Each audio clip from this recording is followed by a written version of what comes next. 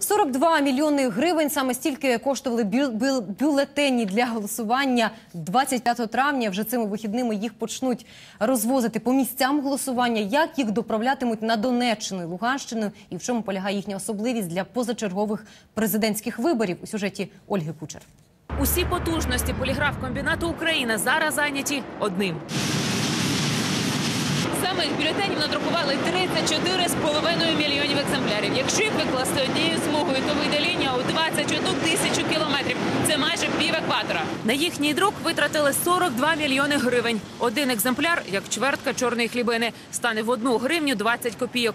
Та голова Центрвиборчкому Михайло Хендовський поквапно запевняє, мільярда виділеного на голосування усього не витратять. Тим більше заощаджують і самі кандидати. Ці вибори для них найдешевші в історії. Витрати виборчих фондів кандидатів на пост президента України є незрівнянно більш низькими порівняно з тими, якими були на попередніх і виборах президента України, і виборах народних депутатів Ще один рекорд довжина самого президентського бюлетеня, адже кандидатів теж нечувана кількість 21. Цього разу виборчі бюлетені матимуть колір з дуже милозвучною назвою Охристо Бусковий. Їх вже закінчують друкувати і в неділю почнуть відправляти до окружних виборчих комісій.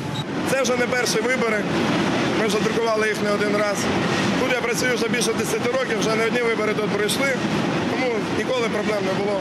Встигаємо слухати. Аби довести бюлетені до буремних східних областей, створюватимуть додатковий захист спільно з МВС та СБУ, який поки не зізнаються. Ці заходи ще потребують погодження з іншими державними органами. А з іншого боку, буде недоречним розкривати всі ті задуми і всі ті плани, які має вже центральна виборча комісія в контексті цього питання. А як довезуть, щоб не фальсифікували, бюлетені забезпечили кількома ступенями захисту. Папір виготовляли на заводі Національного банку, а фарби захисні, змінюють колір в ультрафіолетових променях. Їхню оригінальність можна перевіряти безпосередньо в дільничній виборчій комісії.